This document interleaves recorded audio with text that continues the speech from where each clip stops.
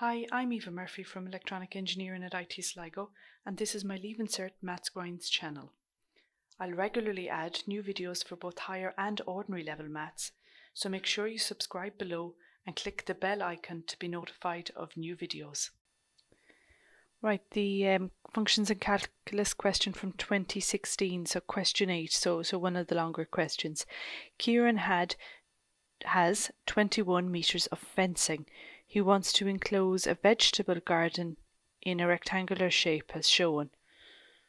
Okay, and I'm presuming he's going to use all 21 metres of fencing. A. By writing an expression for the perimeter of the vegetable garden in terms of x and y, show that y is equal to 10.5 minus x. Okay, when you're presented with a question like this, it can be hard to see where this is going to come out of. So all you can do really is is go back and see well well what what are they talking about with respect to this question and see if you can work from there and see if this comes out at the end. So by writing an expression for the perimeter of the vegetable garden. Okay, so perimeter is adding up the outside. So walking around the outside of your shape, what do you get? Okay, so it's a rectangular, so we're going to add all the sides um, if it's a rectangle, if the bottom is x, the top is also x, and if the side is y, the side is also y. Okay, so the perimeter, P-E-R-I-M-E-T-E-R, is equal to x plus y plus x plus y, and we're assuming he uses all 21 uh, meters of fencing. Okay, so I started here and I walked, there was an x, there was a y, there was an x, there was a y. Okay, let's tidy it up. x and x is 2x, y and y is 2y, and that's equal to 21. Okay, now I'm looking up here. I can see the y's on their own on the left and everything else on the right. So let's bring over the 2x so that you get 2y equal to 21 minus 2x. Let's have a look up here. It's not 2y, it's a single y. So let's divide across by 2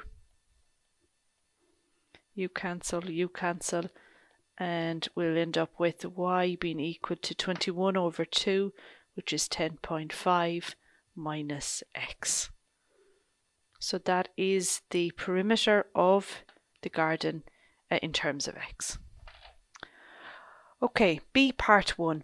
Complete the table below to show the values of y and the area of the garden for each value of x. So they've given us a whole range of values for x and we have to find the corresponding y. Okay, so for this first one here, okay, um, y would be equal to 10.5 minus 0. Okay, in other words, I'm subbing in that 0 for x. So 10.5 minus 0 is uh, 10.5.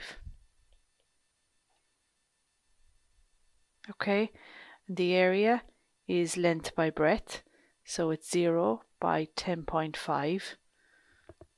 So x by y is the area of the garden, length by breadth, okay? So 10.0, 10.5 by 0 will be 0.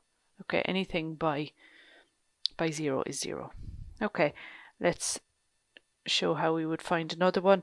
Y in this case will be equal to that 10.5 that's here minus what value is x this time? It's 1. Okay, so that would be 10.5 minus 1, so it's 9.5. And the area for that one is 9.5 by 1, so that's equal to uh, 9.5 by 1, so 9.5 meters squared. Okay, Let's show how we would do one more and then we'll just give the answers. So my y in this case would be 10.5 minus x is 2. So 10.5 minus 2, so it's 8.5. And the area is uh, 2 times 8.5, which would be uh, 17 meters squared. Okay, the next one then would be 10.5 minus 3, so it's 7.5 and my area 7.5 multiplied by 3 on my calculator is 22.5. Okay, now what I forgot to say at the start and I should have was when they give you um, a column of data like they do here, um, before you work out any values, see can you find these values, okay? So see if you can see where they came from, because if you can figure out where they came, came from, you apply the same method to all of the other pieces, okay? So see, could you have seen that the 6.5 came from 10.5 minus 4? And see, can you see that the area comes from 4 times 6.5? Okay, 5 then anyway, let's proceed. So 7.5, 6.5, 5.5. So 5.5 by 5 is 27.5 meters squared. Okay, next column, 10.5 minus 6 is 4.5 and the area 6 by 4.5 is 27. Okay, next uh, column 10.5 minus 7 is 3.5.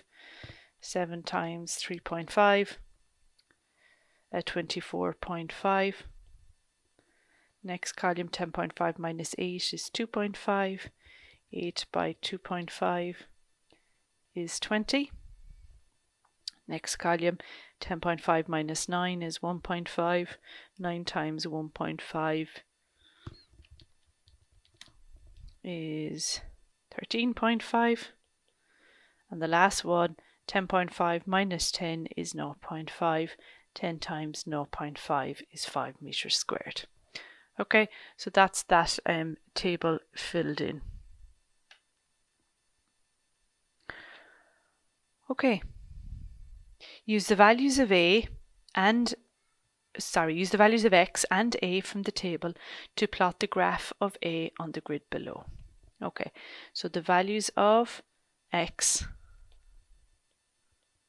this row, and the values of A. Okay, so I'm, I'm plotting X versus area. Okay, so the first X value I have is 0 and my area is 0. Okay, so that couple is 0, 0. So it's down here. Okay, I'll just zoom in a little bit so you can see it. My next couple is 1 comma 9.5. So 1 on my x-axis, excuse me, and 9.5 on the area. So 1 on my x-axis up to 9.5 on my area.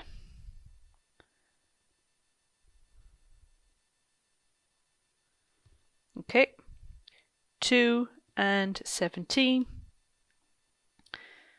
2, 15, 16.5, 17, 3 and 22.5,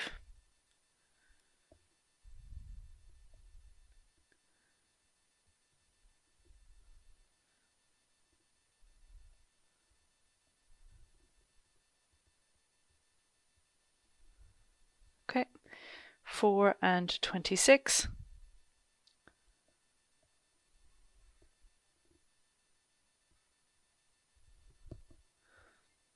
Five and twenty-seven point five.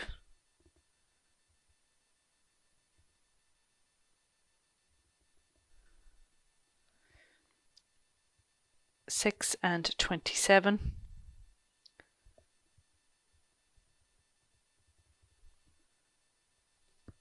7 and 24.5.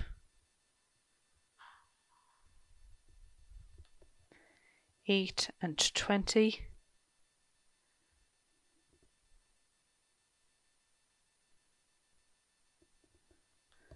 thirteen point five,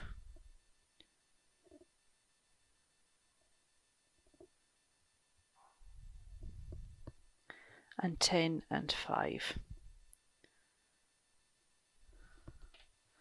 Okay, and then you try and draw them together as best you can. Um, let me see now how that works.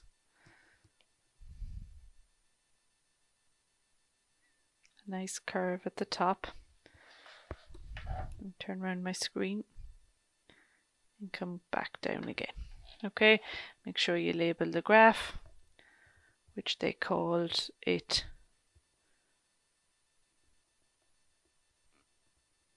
they didn't call it a function name. Okay, so we leave it at that. Okay, so that's all the points and that's them um, graphed together. So I hope that makes sense. Always x value first, then y, okay?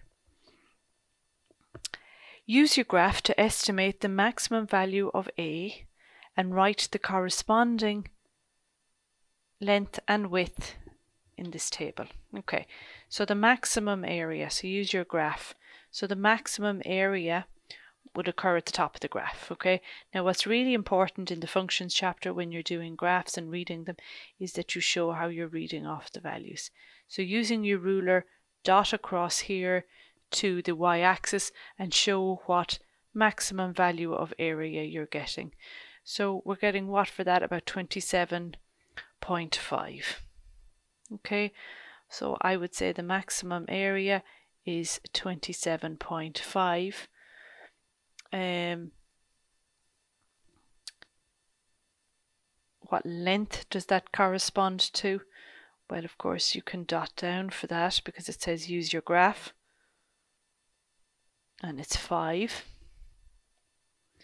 Okay, and if you remember that you had that value from the chart here, you can say uh, the width y was 5.5 okay? But if you had got a different value from it you can know that y was equal to 10.5 minus x. So whatever x value you put here maybe you put for example um, 5.25 maybe you got it slightly different which all of us will. That's why this question says estimate. So they have ranges that's acceptable. You could go 10.5 minus that 5.25 that you read off your graph and you'd end up getting a 5.75 or something like that okay? So 5.25 um or something like that okay? Um so either way that's how you would get your width okay? Now Next part, D part 1 then said, show that the area of the rectangle can be written as A is equal to 10.5x minus x squared, okay? So area of a rectangle is always length by width. That's what we did when we worked out that table, okay? What length and width have we in our um, rectangle? We have x and y, okay? So we've x by y I'm just not using the multiplied sign here, so I'm just using the dot, okay, which is another way of writing multiplied. Okay, um, I have to make it look like this. It's got the x's and the x squareds in it. So I'm going to use this for my y instead because I can see the 10.5 in it and that would pull the 10.5 into this question. So instead of y, I'm going to put in 10.5 minus x. So it's x times 10.5 minus x. So let's multiply that in. x by 10.5 is 10.5x. x by x is x squared. Okay, so that's how area can be written as 10.5x minus x squared find dA dx. Okay, I like these type of questions because even if you didn't manage to find the area here, they've given it to you so you can continue on with the question. Okay, so A is equal to 10.5x minus x squared. So to differentiate, uh, I'm differentiating the A formula, so that's why it's called differentiating A, with respect to the letter that's in it, x. Okay, so take down a power, reduce the power by 1. Okay, so it's like you're getting rid of an x every time. So this x goes. So it's 10.5. And this one, take down the power. So the 2 comes down and you get rid of one of the x's that's here. Okay, so that's dA dx.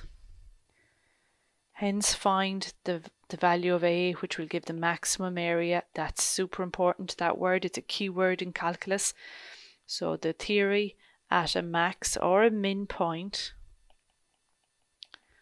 okay, or at max min, uh, dy dx, um, which is dA dx for this question, is equal to zero.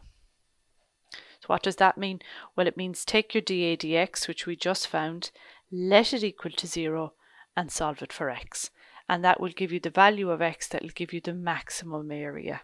Okay, so instead of dA dx, we have 10.5 minus 2x, and I'm saying let that equal to 0. Let's solve it for x. So minus 2x. Okay, bring him over the other side, and he'll become minus 10.5. Divide both sides by minus 2.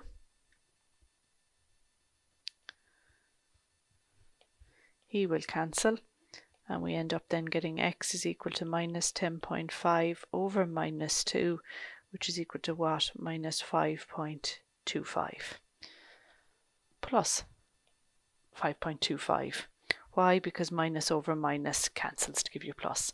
So the x value, which will give me my maximum area, is 5.25. Okay, so the answer to that one, x is equal to 5.25. Okay, find this maximum area. Okay, so what happens here is you take your x value and you go off to your area formula, which is here, and you sub in that x value and when you sub in that max x value then you'll get the maximum um, area okay so in other words we know the area is equal to 10.5x minus x squared we know the max x value is 5.25 so when we sub that in we are going to get the maximum area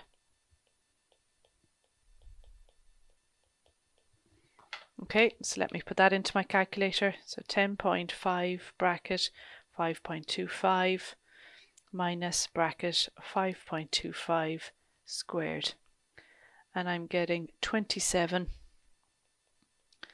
27.5625, um, I can't remember what the units were, meter squared for that area. If you are interested in technology or engineering, but are not doing higher level maths, why not consider our Level 7 in Electronic and Computer Engineering? This is a three year programme that looks at the design and development of embedded electronic systems.